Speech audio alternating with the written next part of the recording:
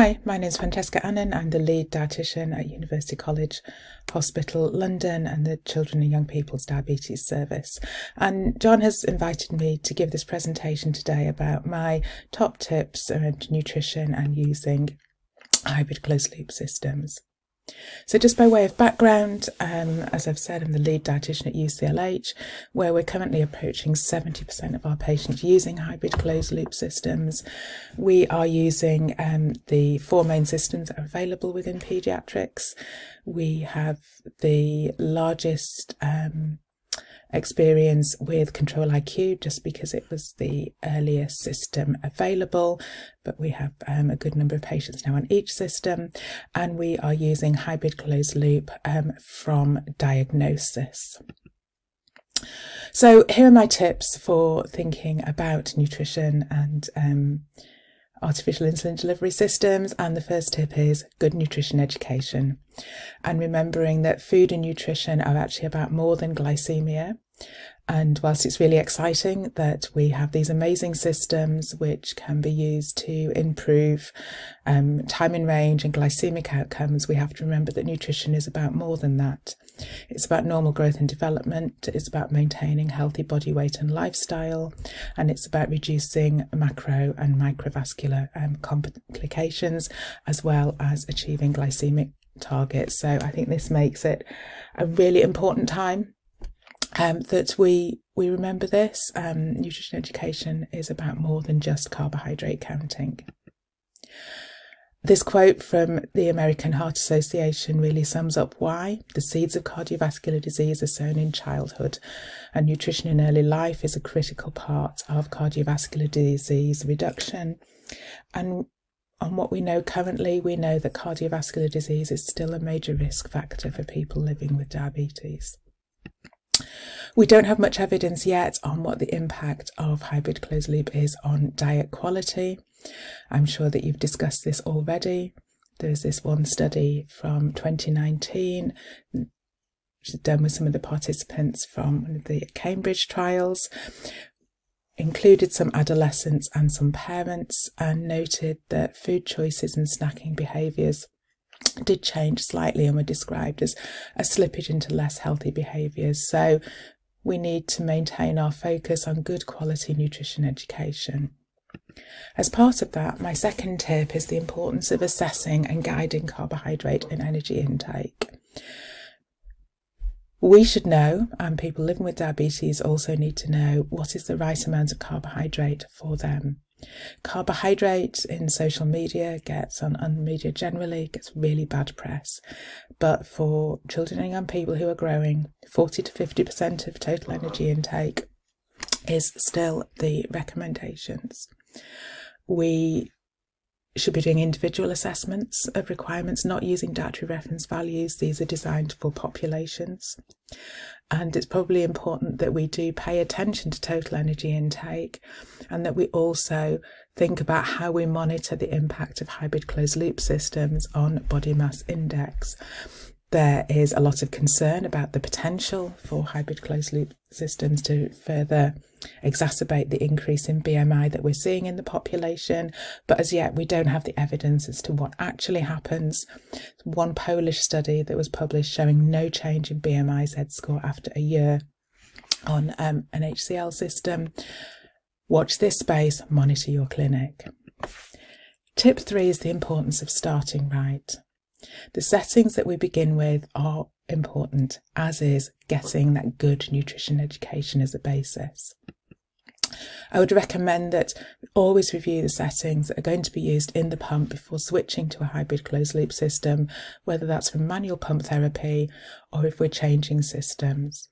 And for moving from multiple daily injections, one of the things that we see is that you potentially need to strengthen the insulin to carbohydrate ratios.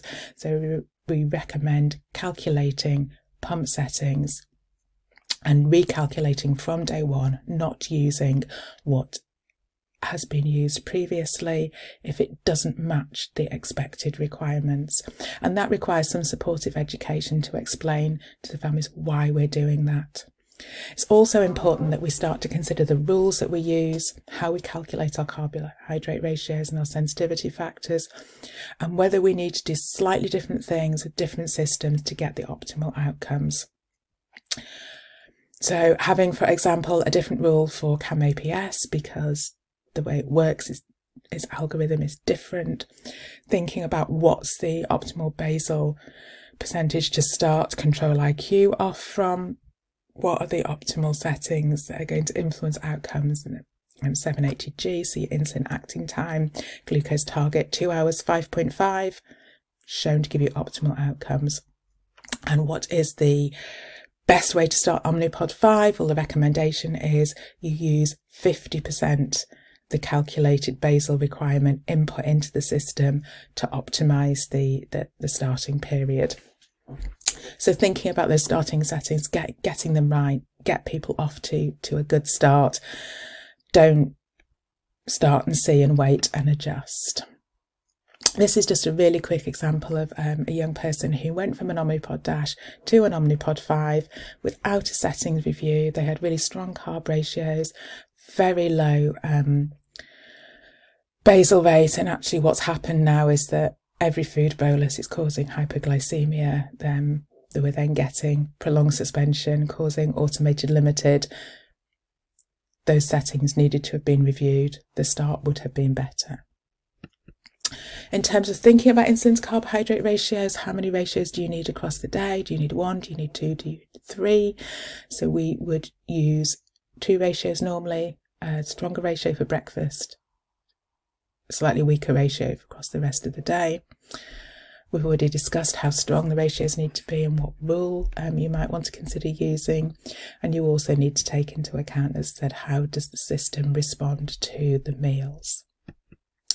Tip number four is meet the families where they're at and the young people. We know that carbohydrate counting gives you optimal outcomes in terms of time in range, but we also know that carbohydrate counting can be a challenge. So we need to think about what are the ways that we can support families and young people to achieve the optimal outcomes for them and have a way of entering carbohydrate into a system that will work for them. Might not be the gold standard, but sometimes good enough is good enough. So the one study um, from Goran and his team over at the um, showed that using a, a simplified um, way of entering carbohydrate was effective in getting a good time in range. It wasn't as good as precise carbohydrate counting. Is this new? No, it's not new. As dietitians, we have been helping people to have ways to use an amount of carbohydrate to calculate an insulin dose for as long as I think we have been adjusting insulin to amounts of carbohydrate. As I've said previously, you do need to take into account how the system and the algorithm works. But if you are assessing the meals that are usually eaten, if you've got an idea of your estimated requirements and what a typical carbohydrate intake should look like for that young person, for their age, their size, their their weight, then you can give them individualized amounts of carbohydrate to be used for different meals that they can then enter into the system. The most important thing that they need to do with that is they need to pre bolus. So you need to get the bolus in at the right time and then think about the resources that we use to support carbohydrate counting and think about how those resources are used in terms of accuracy and consistency. Is the information within the resource accurate? If it's inaccurate, does using it consistently remove the impact of the inaccuracy?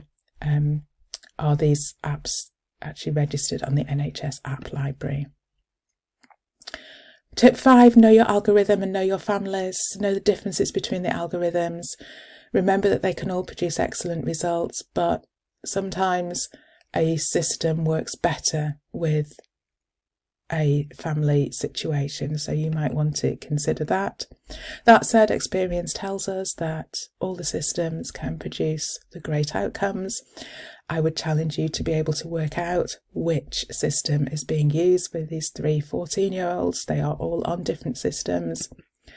but they were all able to get great outcomes because they're using the system.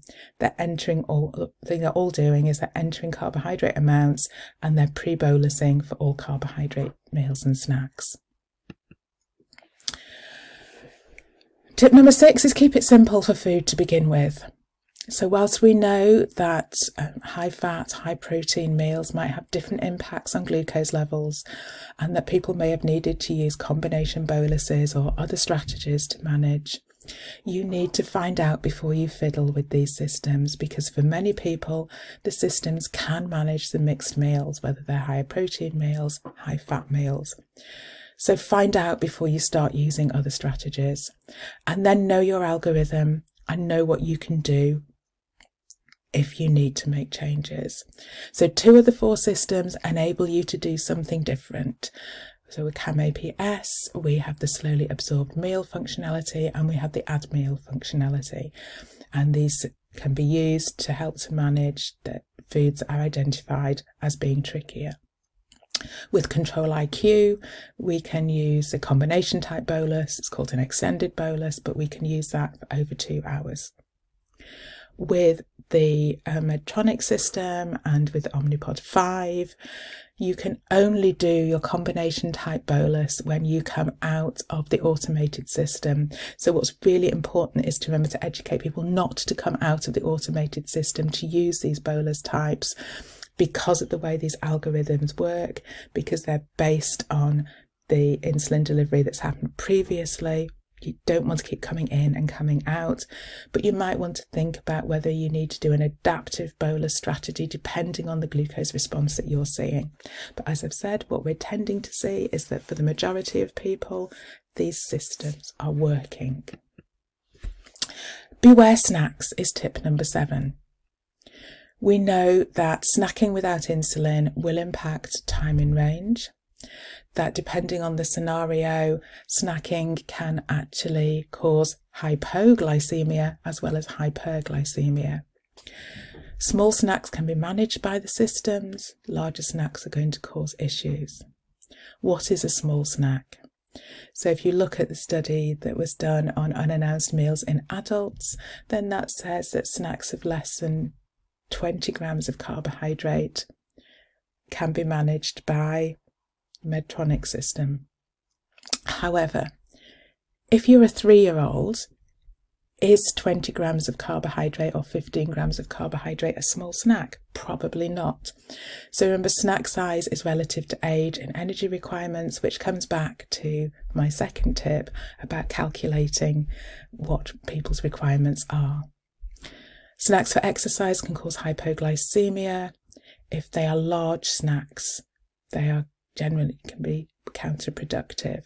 We need to drip carbohydrate in, and we also need to get people to look and see what their system is doing to help them to decide whether or not they need that snack. Same is true for snacks for alcohol management. They can inadvertently cause later hypoglycemia. So, having a large snack to mitigate the impact of alcohol has the potential, if it's given without any insulin at all, to cause later hypoglycemia because the system is going to respond. So we need to be be aware of snacks and change our thinking about snacks, where snacks have previously been used as something to support glycemia and prevent hypoglycemia, they now actually have the potential to do the exact opposite. Tip number eight relates to this, and it's actually about the language we use to describe food and also algorithms. So, a snack to a hungry adolescent at the end of a school day might be a tin of beans on three slices of toast that's not a snack in terms of amounts of carbohydrate. So, again, thinking about the language that we use and how that is heard and interpreted by families as we're educating them is really important. The other bit of language I think is super important to remember is to think about how we discuss what the systems do. And if we talk about the system learning, um, what I have learned is that people will interpret this as the system knows what you're eating and what you're doing when. So it knows that you have PE on a Tuesday and it knows that you have pizza VT on a Friday, which is not what the systems are doing. The systems are adapting insulin delivery based on insulin requirements and glucose levels. So how we use our language to describe what's happening can have an important impact on understanding and how the systems are used. Tip nine is learn how to identify fake carbohydrates and when to go back to basics with nutrition. And this is about thinking about how we're reviewing what's happening on downloads, how we know when we might need to make a setting change, when we might need to give nu- nutrition advice. If we're thinking about reviewing downloads um, and insulin to carbohydrate ratios, then the two tools I would absolutely recommend, so for our Medtronic, Control IQ, and Omnipod 5, use the Panther tools would be my, my top tip do a structured review, takes you through everything you need to do. Use the CamAPS resources um, for their system. Get become familiar with and understand the downloads know what you are seeing think about whether what you're seeing is the timing of the bolus whether it's uh, to do with carbohydrate counting whether it's to do with the response to the meal and also remember that food responses will also be influenced by what the basal adjustment ha- has done. And for some systems, the sensitivity factor will also impact. So, the types of things to look out for. If we look on this download here, we can see there's three 70 gram carbohydrate entries consecutively. Did that young person really have 210 grams of carbohydrate? And they entered the carbohydrate and what was the glucose level doing. So that looks a little bit like need to be curious about what's happened there. We look at the glucose response earlier in the day. This is a school day. Was there a break time snack there that was missed?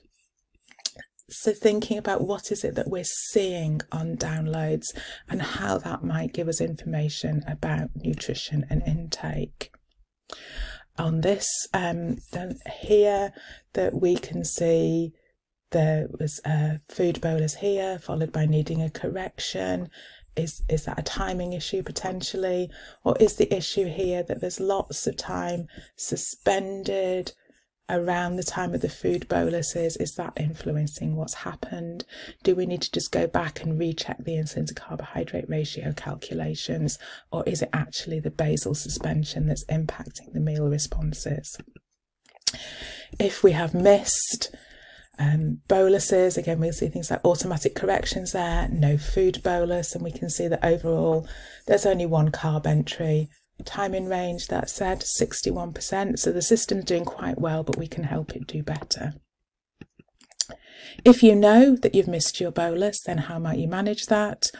And it's thinking about giving people advice and what to do, maybe if they realise in the first 30 minutes, the second 30 minutes, or at an hour.